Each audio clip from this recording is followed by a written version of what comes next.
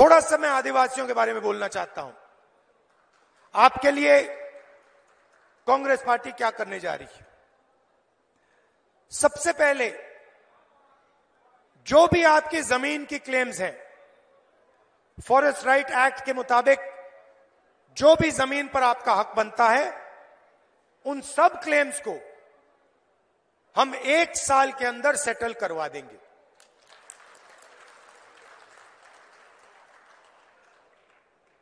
मैंने पहले contract labour की बात की।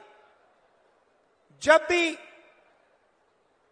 गरीब लोगों की, के रोज़गार की बात होती है, चाहे वो आदिवासी हो, दलित हो, पिछड़े हो जनरल कास्ट के गरीब लोग हों तो उनको कॉन्ट्रैक्ट बेसिस पे रखा जाता है। उनको परमानेंट नहीं किया जाता। किसी प्राइवेट कंपनी में कोई मैनेजर रखा जाता है तो उसे परमानेंट जॉब दी जाती है। आईएएस अफसर को परमानेंट जॉब दी जाती है।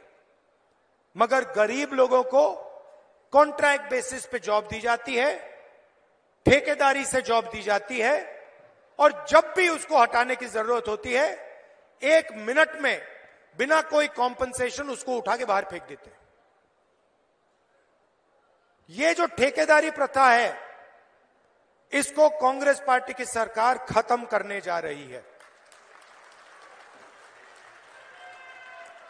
सरकार में और पब्लिक सेक्टर यूनिट्स में ठेकेदारी प्रथा हम बंद करेंगे और जिसको भी नौकरी मिलेगी, वो परमानेंट नौकरी होगी, वो सरकारी नौकरी होगी और वो किसी ठेकेदार के थ्रू नौकरी नहीं होगी। इससे आदिवासियों को, दलितों को पिछड़ों को, गरीब जनरल कास्ट के लोगों को फ़ायदा होने जा रहा है। एससी एसटी और ओबीसी की जो स्कॉलरशिप्स हैं, उनको हम दुगना करने जा रहे हैं। और शायद सबसे बड़ा काम, जहाँ भी आदिवासियों की 50 परसेंट से ज़्यादा आबादी है, वहाँ पे हम सिक्स शेड्यूल को लागू करने जा रहे हैं। अब बीजेपी के लोग गलत बात फैला रहे हैं। कह रहे हैं कि सिक्स शेड्यूल के माध्यम से बाकी लोगों को नुकसान होगा। यह बिल्कुल गलत है। सिक्स शेड्यूल का मतलब कि डिस्ट्रिक्ट कलेक्टर नहीं चलाएगा, लोकल लेवल पे कमेटी चलाएगी उस कमेटी में आदिवासी होंगे, ओबीसी होंगे, दलित होंगे, जनरल कास्ट के लोग होंगे। तो ओबीसी को, दलित को नुकसान नहीं होगा, किसी को नुकसान नहीं होगा। सिर्फ़ यह बात होगी कि आपका जो लोकल एरिया है, आप लोग उसको लोकली चलाओगे, पंचायत के लेवल से चलाओगे, वार्ड के लेवल से चलाओगे और ऊपर से दिल्ली से या डिस्ट्रिक्ट कलेक्टर के ऑफ़िस से वो नहीं चलाया जाएगा। ये फ़र्क है। और इससे सिर्फ़ सिर्फ़ आदिवासियों को नहीं फ़ायदा होगा, हर वर्ग को फ़ायदा होगा।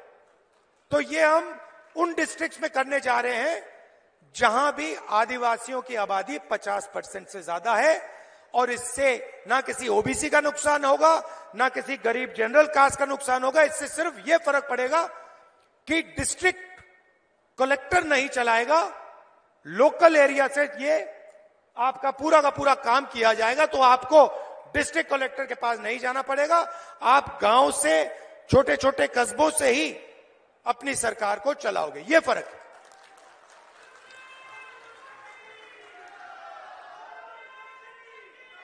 भाई और बहनों, आपने देखा होगा, मैंने शुरुआत में आदिवासी और वनवासी की बात की। आपने देखा होगा बीजेपी ने एक वीडियो वायरल किया। उसमें उनका एक कार्यकर्ता, एक आदिवासी युवा पर, हिंदुस्तान के भविष्य पर पेशाब कर रहा था। आपने देखा होगा। देखा? पूरे हिंदुस्तान में उन्होंने ये वीडियो फैलाया। पहले पेशाब करते हैं और फिर पूरे हिंदुस्तान में बीजेपी के लोगों ने इस वीडियो को फैलाया। आपका अपमान किया। यह फ़र्क है आप में, हम में और उनमें हम आपको अपना हक देने की बात करते हैं। आपके युवाओं को स्कूल, कॉलेज, यूनिवर्सिटी में डालने की बात करते हैं। आपको सरकारों में शामिल करने की बात करते हैं और उनके कार्यकर्ता आपके बच्चों पर पेशाब करते हैं। तो यही यही फ़र्क है।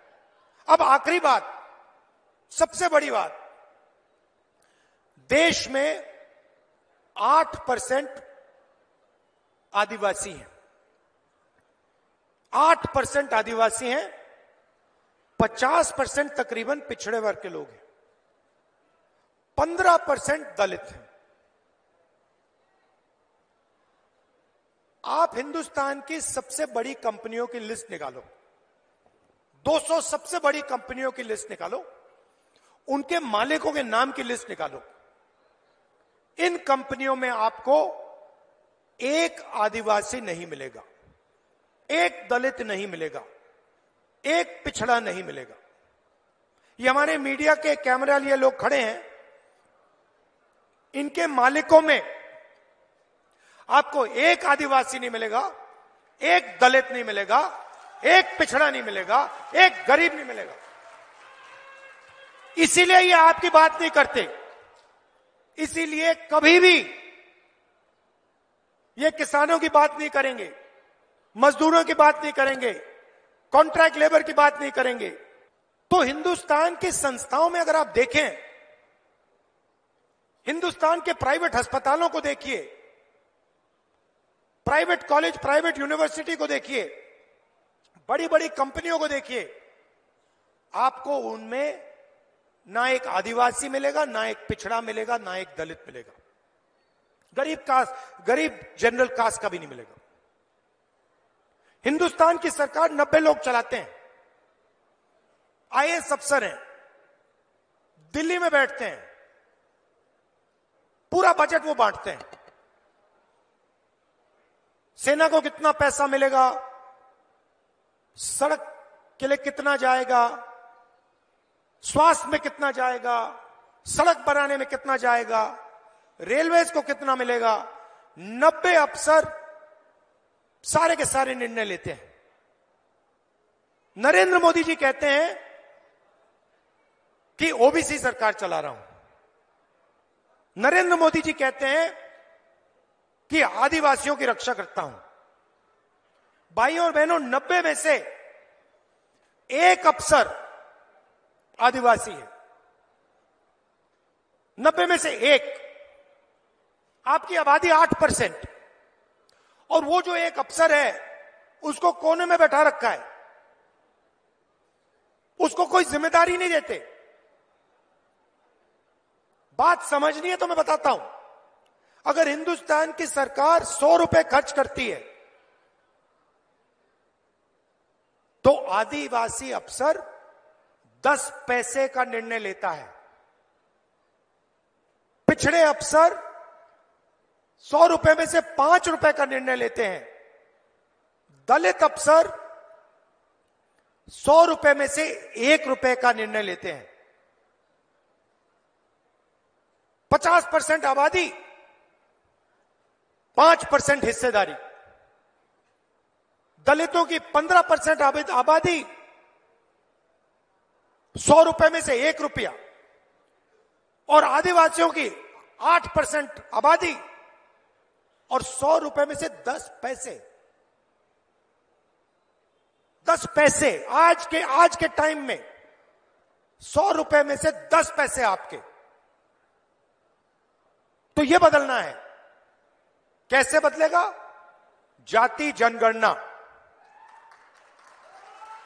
दूध का दूध, पानी का पानी।